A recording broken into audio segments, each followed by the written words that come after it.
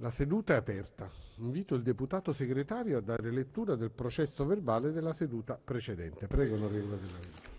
Processo verbale della seduta del 3 aprile 2024. Presidenza Scani, Sergio Costa. La seduta comincia alle 10 con l'approvazione del, proce- del processo verbale della seduta del 27 marzo 2024. La Presidente dà conto delle missioni e comunica la presentazione e l'assegnazione del disegno di legge di conversione numero 1809. Si passa alla discussione sulle linee generali della mozione Francesco Silvestri numero 164, nuova formulazione, nella quale intervengono i deputati Pavanelli, Bicchielli, Scotto, Piccolotti e Appendino. Chiusa la discussione interviene in replica il sottosegretario Siracusano, quindi la Presidente rinvia il seguito del dibattito. La seduta sospesa alle 10.50, ripresa alle 13, interviene sull'ordine dei lavori il deputato Tony Ricciardi.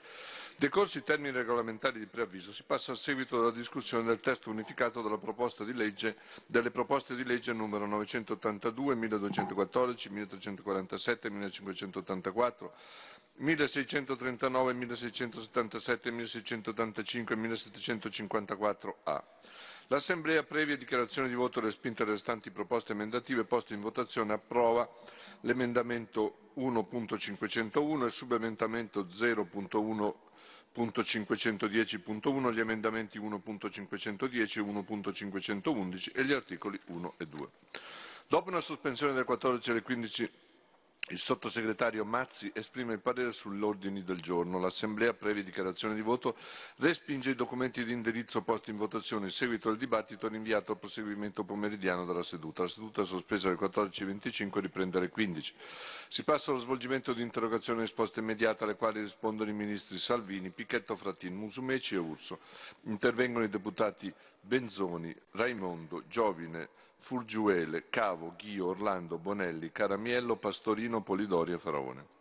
La seduta sospesa alle 16.10 è ripresa alle 16.20. Il Presidente dà ulteriore conto delle missioni. La Camera, previa dichiarazione di voto ed, autorizzato il coordinamento formale del testo, approva con votazione finale elettronica il testo unificato delle proposte di legge numero 982, 1214, 1347, 1584, 1639, 1677, 1685 e 1754A. Nel corso dell'esame del provvedimento sono intervenuti il relatore Amorese, il sottosegretario Mazzi ed i deputati Ghirra, Amato, Berruto, Richetti, Riccardo Ricciardi, Manzi, Grippo, Piccolotti, Giacchetti, Caso, Gruppioni, Pisano, Dalla Chiesa, Latini, Zingaretti, Mollicone e Cavandoli. Il deputato Vinci avanza la richiesta di anticipare lo svolgimento dei punti 5 e 6 dell'ordine del giorno nel presupposto che il punto 6, ove non sia svolto nella seduta odierna, sia rinviato alla successiva seduta e svolto come primo punto del relativo ordine del giorno. L'Assemblea approva con votazione elettronica senza registrazione dei nomi la proposta del deputato Vinci.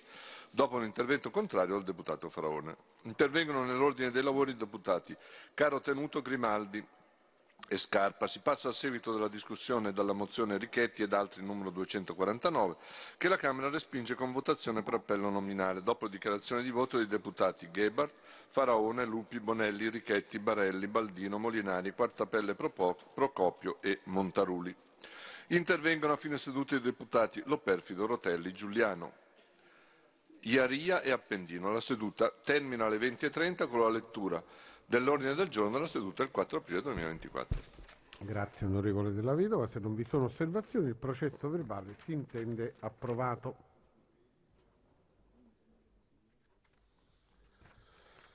Comunico che ai sensi dell'articolo 46,2 del regolamento i deputati in missione a decorrere dalla seduta odierna sono complessivamente 98 come risulta dall'elenco consultabile presso la Presidenza e che sarà pubblicato nell'allegato A resoconto stenografico della seduta odierna.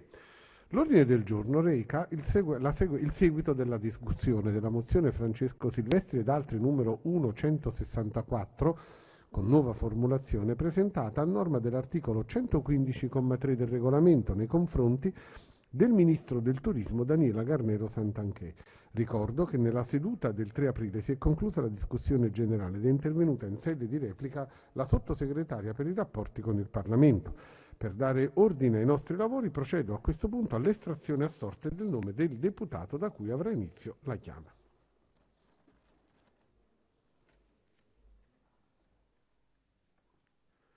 Onorevole Forattini.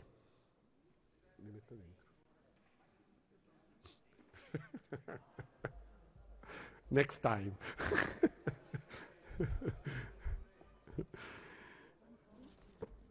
Poiché nel corso della seduta potranno avere luogo votazioni mediante procedimento elettronico, decorrono da questo momento i termini di preavviso di 5 e 20 minuti previsti dall'articolo 49,5 del regolamento. Passiamo dunque alle dichiarazioni di voto. Ha chiesto di intervenire l'onorevole Roberto Giachetti. Prego, onorevole. Grazie signor Presidente. Signor Presidente, signora Ministra che non c'è, e dispiace perché sarebbe stato divertente vedere the Queen of Resignation, la regina della richiesta di dimissioni in questa Camera. Ne con, se ne contano quelli che hanno ricostruito una ventina di richieste di dimissioni da parte dell'onorevole Santanchè. Si ricordano quelle a Speranza, a Di Maio, alla Boschi che non era neanche indagata e che è venuta in aula e ha preso anche la parola, perché c'è anche un certo stile quando ci si trova in determinate condizioni, ma la ministra Anzolina. Insomma, Sarebbe stato divertente vedere colei che ha chiamato sul banco degli imputati chiedendo le dimissioni eh, un'infinità di ministri venire qui e chiedere alla Camera di votare contro le sue dimissioni. Ma d'altra parte, signor Presidente, io ho guardato la mozione e ho anche discusso col gruppo perché d'impatto ho detto noi dobbiamo assolutamente votare a favore di una mozione di sfiducia al Ministro Santanchè, atteso che pensavo fossero in discussione le politiche del Ministero del Turismo.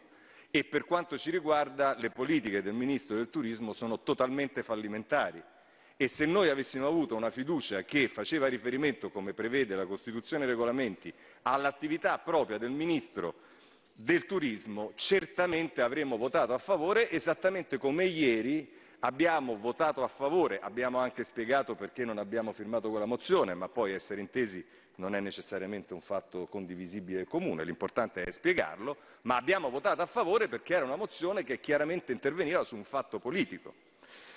E quella che ci troviamo di fronte oggi è una mozione a firma del Movimento 5 Stelle, ma poi variamente eh, commentata e sottoscritta idealmente anche da altre forze politiche, che riguarda tutt'altro. Addirittura gli estensori della mozione, il Movimento 5 Stelle, eh, chiamano in causa la prima frase di questa mozione non sono più neanche le questioni giudiziarie, sono le inchieste giornalistiche.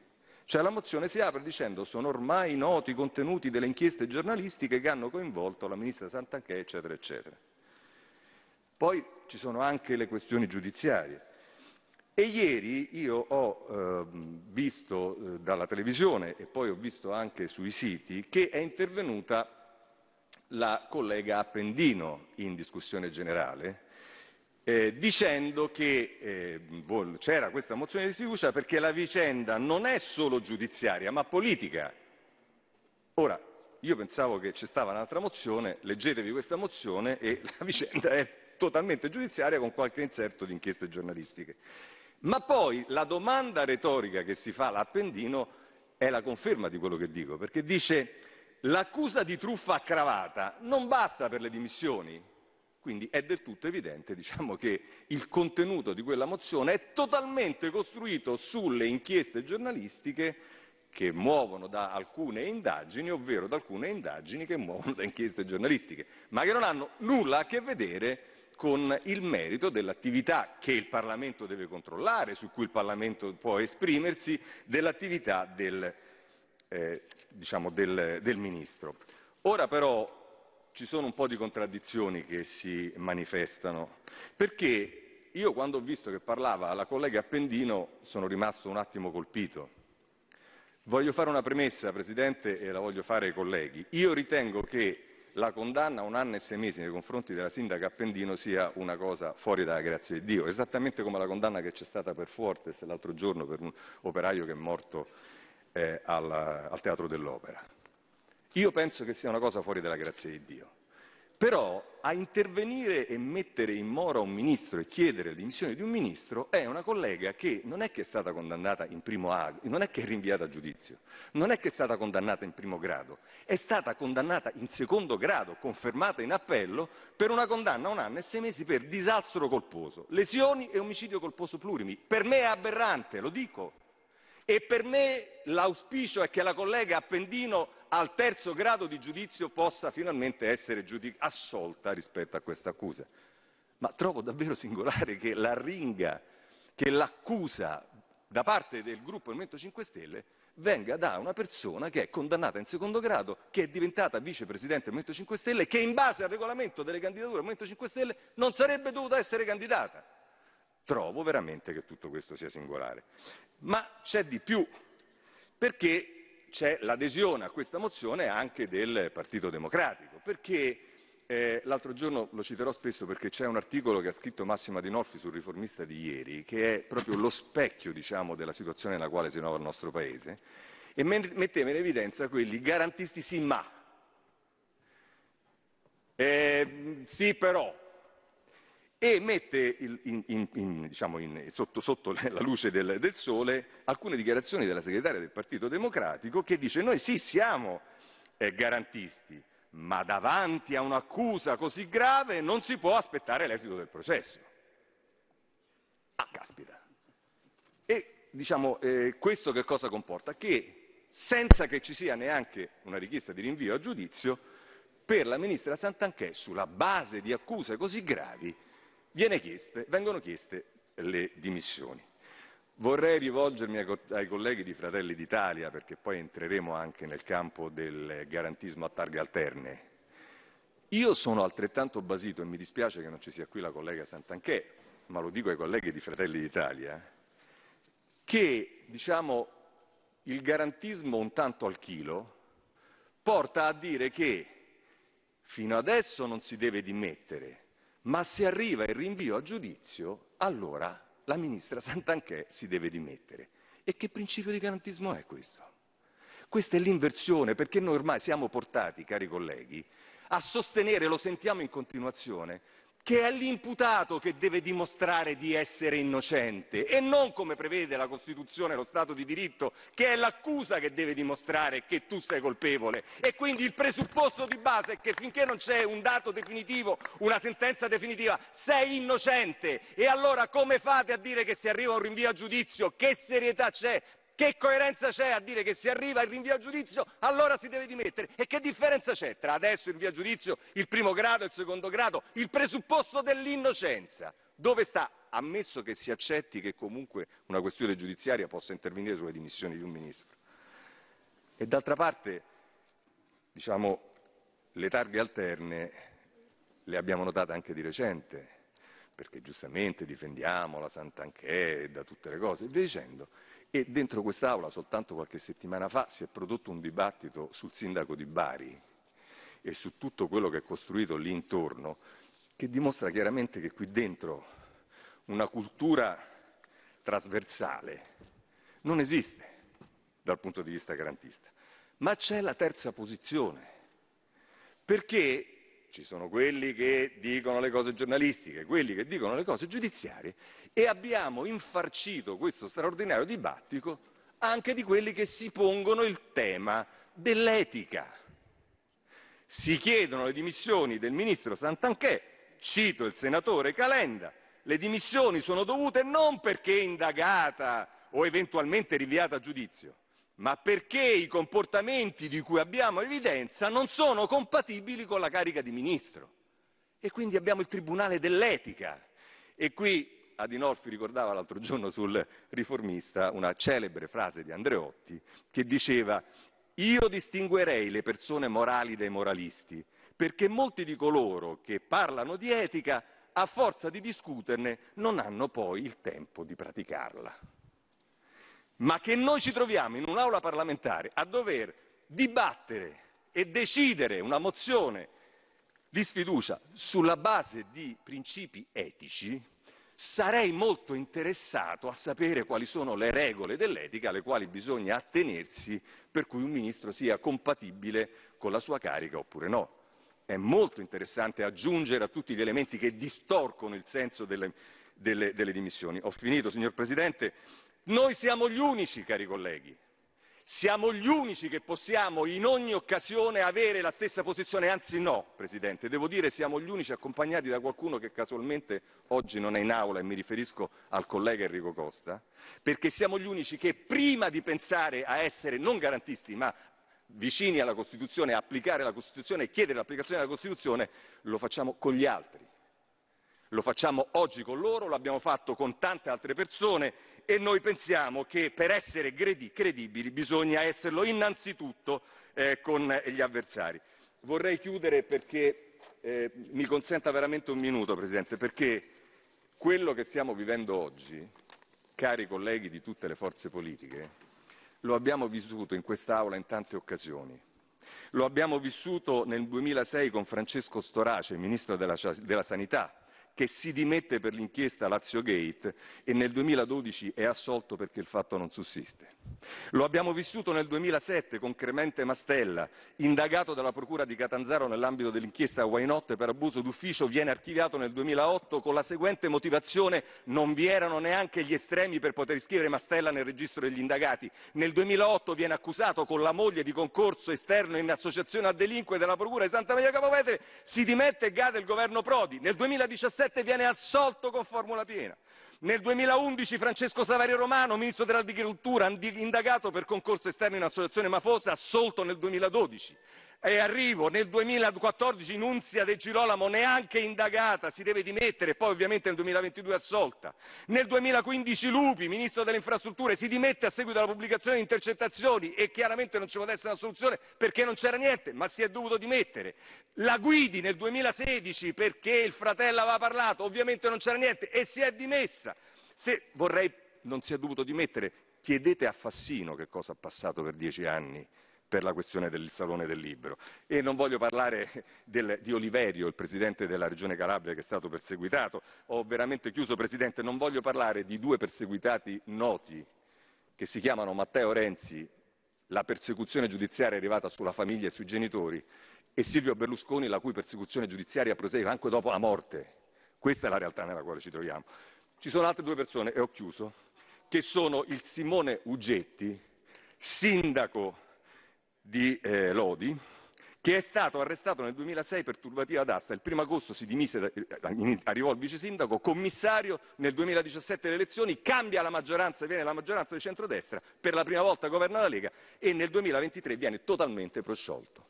Fatto saltare una maggioranza per un'inchiesta che poi è stato prosciolto. E la stessa cosa per rimanere con Giambattista Fratus della Lega, che nel maggio del 2019 va agli arresti domiciliari per corruzione elettorale, nel 2020 viene condannata a due anni in primo grado, a gennaio del 2004 viene assolto in appello, intanto nel 2019 commissario, elezioni e il sindaco di centrosinistra.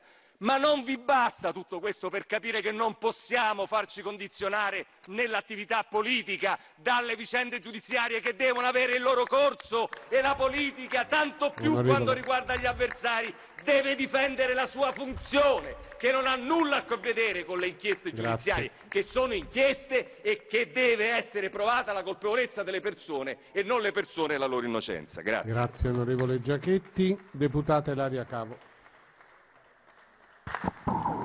Grazie Presidente, onorevoli colleghi e signori del Governo, mi sia consentito di iniziare in maniera irrituale, vorrei partire con una domanda, so di non poter ricevere risposta non potendola rivolgere direttamente ai colleghi dell'opposizione, ma forse ponendola ad alta voce in quest'Aula potrà indurre qualche riflessione. Abbiamo impiegato bene il nostro tempo? Nelle ore che abbiamo utilizzato per discutere di vicende che al momento sono oggetto di indagine da parte della magistratura, avremmo piuttosto potuto affrontare temi che riguardano i cittadini, le famiglie, le imprese, le tensioni internazionali e temi su cui anche l'opposizione di tanto in tanto incalza il governo, sollecita risposte, propone soluzioni. O meglio dovrebbe, perché vedete, si può fare opposizione costruttiva. Ne beneficia non solo il Paese, ma la credibilità delle forze che le esercitano e la fiducia nelle istituzioni. E invece no. Siamo qui a discutere di questioni amministrative relative alla gestione di un'impresa riconducibile a Daniela Santanchè nella qualità di imprenditrice, non di politico, né tantomeno di esponente del governo in carica. Vicende che oltretutto risalirebbero a un'epoca precedente all'insediamento di questo governo e nulla avrebbero a che vedere con la sua attività ministeriale. Questioni che la magistratura valuterà. Non siamo nella fase dei rinvii a giudizio, siamo ancora nell'ambito di un'indagine. Daniela Santachè è indagata, non rinviata a giudizio, non giudicata A fronte della sua iscrizione nel registro degli indagati, però, si alza dall'opposizione il grido dimissioni. Devo ammettere, e questo ritengo faccia onore, almeno a livello personale, a coloro che non si uniscono al coro, che si tratta di un coro ben poco armonioso. Ci sono più vo- voci più convinte, altre meno, e chi tace. In questi giorni i quotidiani, le agenzie erano pieni di titoli della serie Le opposizioni cercano di compattarsi sulla sfiducia alla Sant'Anché. Davvero questa è la proposta politica, la vostra proposta politica? Questa è l'alternativa che proponete al Paese? Tra i sofismi che ho sentito esprimere in queste ore i più acrobatici erano quelli che puntavano a sostenere che fosse un atto politico chiedere le dimissioni di un ministro perché indagato. Non mi interessa utilizzare l'argomento della giustizia a orologeria. Ritengo che la magistratura sappia fare il suo dovere, valuterà i fatti, si esprimerà con gli atti che riterrà più opportuni. Opportunità. Mi soffermo un momento su questa parola, richiamata spesso in casi come questo. Si solleva la questione che sia opportuno o no che un esponente politico ricopra un determinato incarico nel caso in cui rientri in qualche modo nell'occhio di bue della magistratura.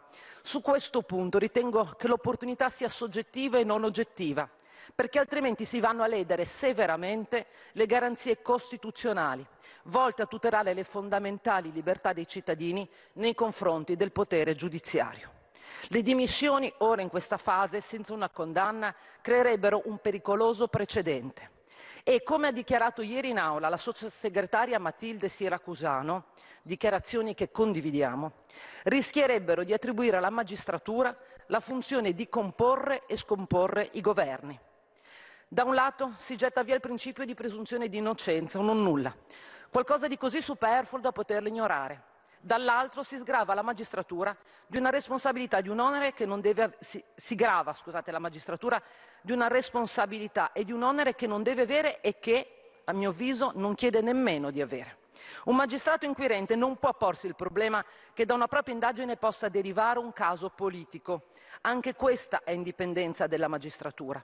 E dando una lettura politica ad ogni fascicolo, di ogni inchiesta, di ogni atto, siamo noi che intacchiamo quell'indipendenza e politicizziamo la giustizia. Ritengo che sia fondamentalmente sbagliato attribuire significato politico a questioni giudiziarie danneggia la vita politica, segna la vita degli individui coinvolti, influenza il lavoro della magistratura e soprattutto compromette le garanzie fondamentali sancite dalla nostra Costituzione. Sia chiaro che nel momento in cui un principio, come la presunzione di innocenza, non viene riconosciuto a un solo individuo o a una categoria di individui, viene pregiudicato in assoluto. I principi e le garanzie fondamentali esistono perché universali. Il tema oggi è proprio questo, il garantismo, un nodo che ancora una volta la nostra Costituzione a sciogliere, scegliendo di garantire la persona fino a prova contraria, basandosi sulla presunzione di innocenza e non di colpevolezza. Ho sentito ieri mattina in discussione generale evocare la Costituzione, in particolare proprio l'articolo 27 che cito per ricordarlo prima di tutto a me stessa. La responsabilità penale è personale, l'imputato non è considerato colpevole sino alla condanna definitiva. Ecco, la tesi dell'onorevole Pavanelli in quest'Aula è che questo articolo non deve valere per la ministra Santanchè, non deve valere per chi ricopre cariche istituzionali. Si chiama Stato di diritto invece ed implica che tutti i cittadini abbiano le stesse tutele e garanzie dinanzi alla legge.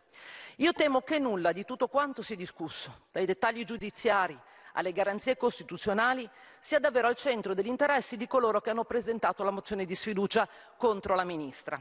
Forse non ce ne si è nemmeno posti il tema delle implicazioni. Si è scelto di cogliere un'occasione, l'occasione per aggregare campi e campetti, per compattare ciò che evidentemente non trova un altro motivo per stare insieme, unirsi contro, invece che per. È un grande segno di debolezza, ma soprattutto di inconsistenza politica. Lo dico con rammarico, perché un'opposizione debole non fa bene al, al Paese, ma nemmeno al governo. È dal dibattito anche acceso che nascono nuove idee. E invece ho sentito proporre con accredite, come fossero una colpa tale da richiedere le dimissioni, valutazioni politiche della ministra Santanché e senatrice che non riguardavano dunque né la vicenda giudiziaria richiamata a pretesto né la sua attività di governo. Non ho sentito parlare dei numeri di, del turismo, in crescita dell'8,1% nel 2023 sul 2022, superando per la prima volta i livelli pre-Covid. Oppure i dati di questa Pasqua, un altro più 8% rispetto al 2023. 11 milioni di turisti, 4 miliardi di fatturato. Non ho sentito un dibattito sulla sua adeguatezza a fare il ministro del turismo. Ho sentito invece da molti colleghi, in discussione generale, le opinioni espresse, ripeterle ancora, come senatrice sul reddito di cittadinanza. Il collega Scotto del PD ha ricordato le sue esternazioni contro la paghetta di Stato. Ancora, la collega Pavanelli ha citato le sue ripetute comparse in tv contro il reddito di cittadinanza. La collega Pendino ha aggiunto che lo faceva con la sfacciataggine di chi aveva la verità in tasca. Daniela Santaché, comunque, dovrebbe dimettersi su mozione del Movimento 5 Stelle perché ha combattuto il reddito di cittadinanza? Sì, siamo contrari alle paghette di Stato.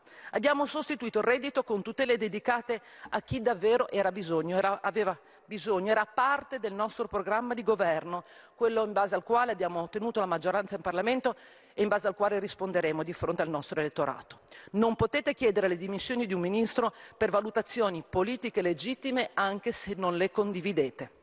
Avremmo potuto dedicare questo tempo al dibattito su temi che riguardano l'economia, la società, le politiche anche del turismo. Avremmo potuto ragionare sulla nuova linea politica data dalla Ministra, che non badi solo al numero dei turisti, ma alla ricchezza che il turismo deve portare al territorio.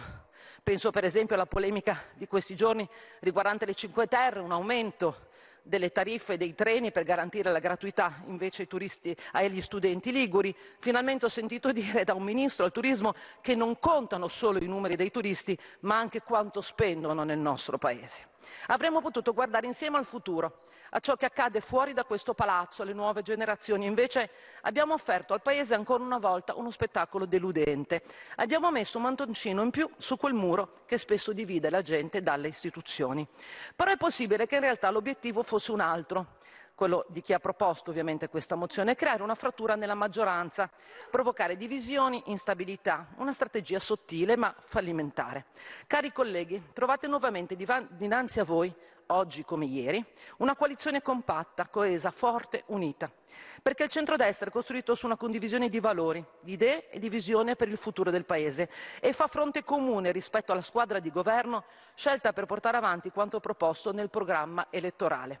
Rappresenta una forza politica, noi moderati, garantista, che, considera sempre valido l'insieme delle garanzie costituzionali atte a tutelare le fondamentali libertà dei cittadini nei confronti del potere politico e giudiziario. Noi non siamo garantisti a corrente alternata, a seconda del momento o dell'indagato, lo siamo sempre e lo siamo anche questa volta nei confronti della Ministra Santanchè. Per questo esprimo a nome mio e del gruppo che rappresento di noi moderati il voto contrario alla mozione di sfiducia contro la Ministra Santanchè e rinnoviamo, come noi moderati, la fiducia a questo Governo è un, no, è un modo diverso di fare fare politica. Grazie. Grazie onorevole Cavo. Prima di andare oltre salutiamo le ragazze e i ragazzi della Scuola Superiore Sant'Anna di Pisa. Grazie di essere qui.